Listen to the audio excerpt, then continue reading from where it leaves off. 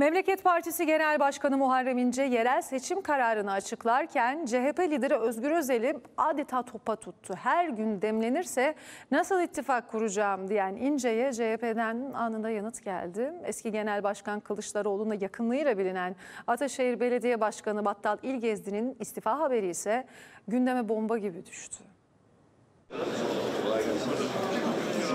İsveç'in NATO'ya üyeliğine evet verince nasıl ittifak kuracağım? Her gün demlenirse nasıl kuracağım? CHP'de MYK toplantısı başlamadan önce Memleket Partisi Genel Başkanı Muharrem İnce kameralar karşısındaydı. CHP lideri Özgür Özel'i sert sözlerle eleştirirken yerel seçimlere tek başına gireceklerini duyurdu. Her gördüğün eli öpersen millet sana güvenmez.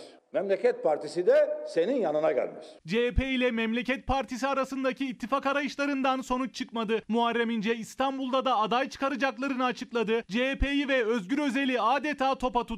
Değişmek başka bir şeydir, başkalaşmak başka bir şeydir. Ayrı dünyaların insanıyız. Muharrem İnce'nin sözlerine CHP parti sözcüsü Deniz Yücel sosyal medya hesabından yanıt verdi. Yücel ittifak görüşmelerinde İnce'nin belli sayıda belediye meclis üyeliği ve İzmir'de bir metropol ilçe belediye başkanlığı talebinde bulunduğunu söyledi. Görüşmeler tıkanınca bu açıklamayı yaptı. Üzülerek dinledik ifadesini kullandı. İnce ile birkaç kez görüştüm ve görüşmelerimiz bu söylemlerinin tam tersi bir durumdu. CHP'de MYK sonrası yerel seçim mesaisi parti meclisi toplantısında devam etti. CHP'nin Antalya ve Muğla adayının ilerleyen saatlerde belli olması bekleniyor. İzmir'le ilgili düğümün henüz çözülmediği aday açıklamasının bir sonraki toplantıya kalabileceği belirtiliyor.